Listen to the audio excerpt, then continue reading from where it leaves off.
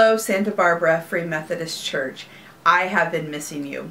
First, because I was in North Carolina for a clergy conference, and second, because we are all practicing wisdom and safe distancing, we aren't able to see one another in person.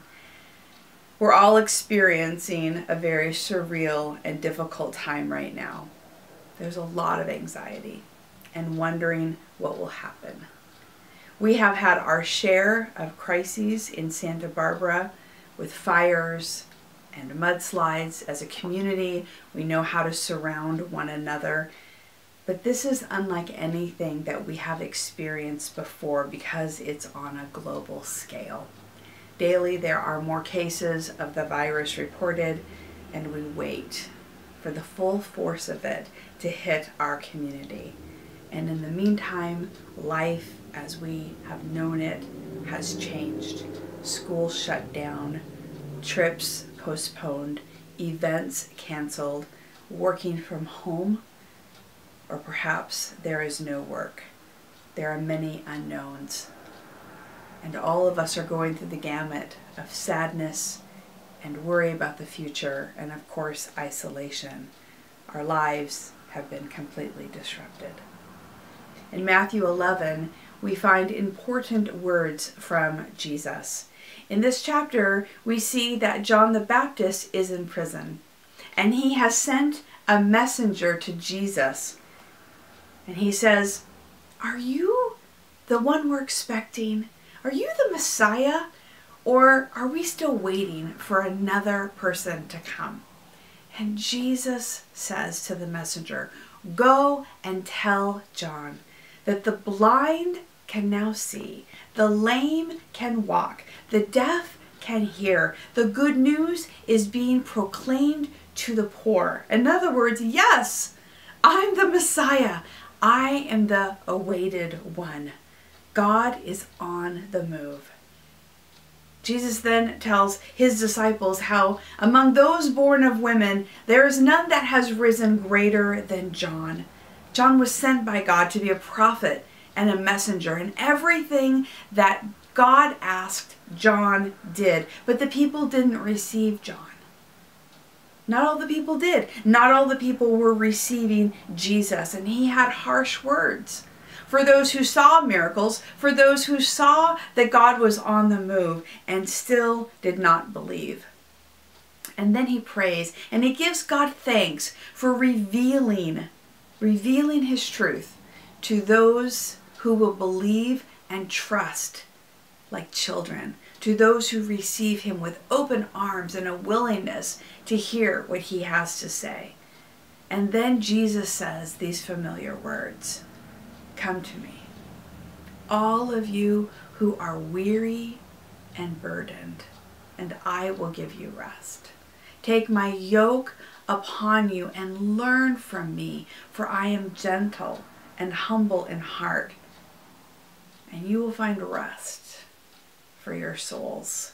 For my yoke is easy and my burden is light.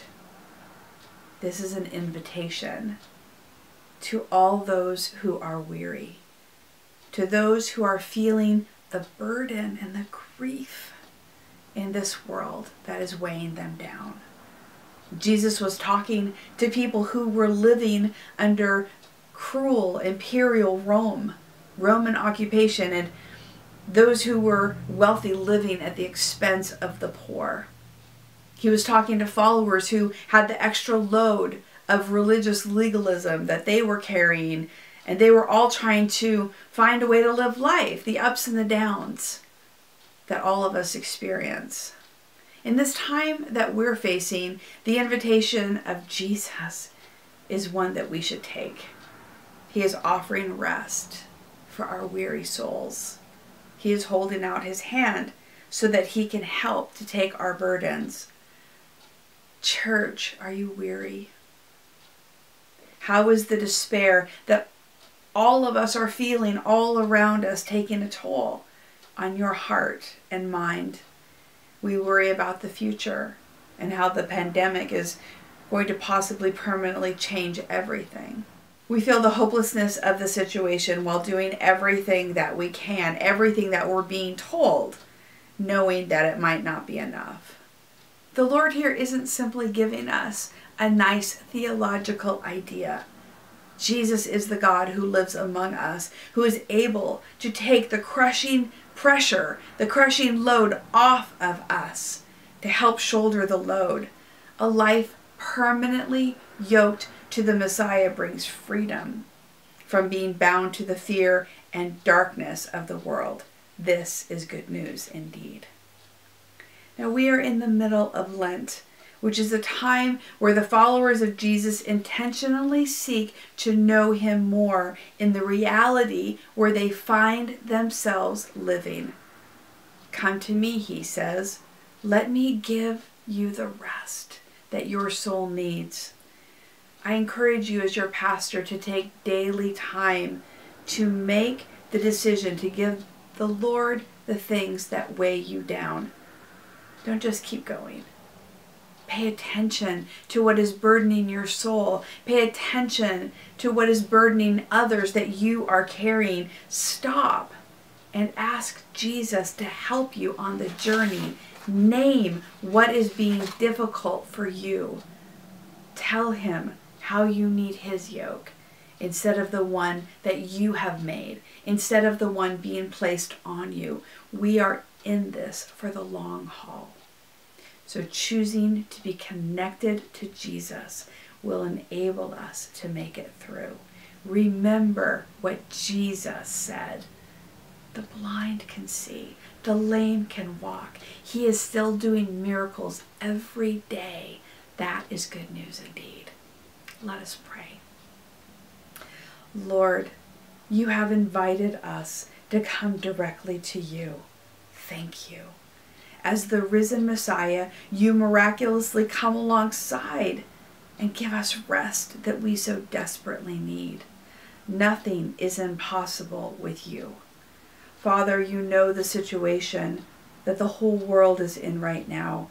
We ask for your divine intervention in stopping this virus. We pray for your help. We cry out to you, God, for mercy. Please lift the burdens we are facing as we figure out what to do in our work responsibilities, in our families, for our own health, for our neighbors, in our church. God, help us not to panic, but to recognize your living presence among us. Lord, help us to steep ourselves in your spirit so that we can listen to you and what you have for us. As we walk with you, we ask for you to shoulder our burdens and to give us peace. Help us to continue to tell others about you, to invite them to know your good news, to bring their burdens to you as well. Thank you, God, for all of the leaders that are working hard, God, around the world, in our own nation, to help all citizens. Would you please give the medical community great wisdom and provision as they have so much responsibility? We pray for those who are compromised and vulnerable in any way. We lift up those who are mourning, who are mourning the loss, God, of those they love. Would you please help all of us who are struggling with disrupted lives? May the church continue to offer care and great compassion. Your love compels us to reach out beyond ourselves. We pray these things in the name of the Father and Son and Holy Spirit. Amen. On a practical note, I just want to encourage you about a few things. If you're able to give blood, there's much need now, so please contact your blood bank and donate if you can. Also, in Santa Barbara, the food bank and the Unity Shoppe are asking for donations. And I know that we are overwhelmed with the grocery uh, store aisles being empty, but there are so many who can't afford to go. So if you have extra, please share.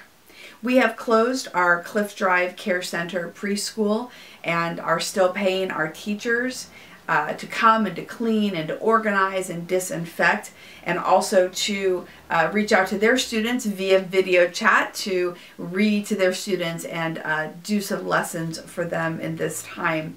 If you would like to donate to help with their salary, uh, that would be helpful. If you want to donate to the benevolence fund of our church, uh, where we help people in need, that also would be welcome.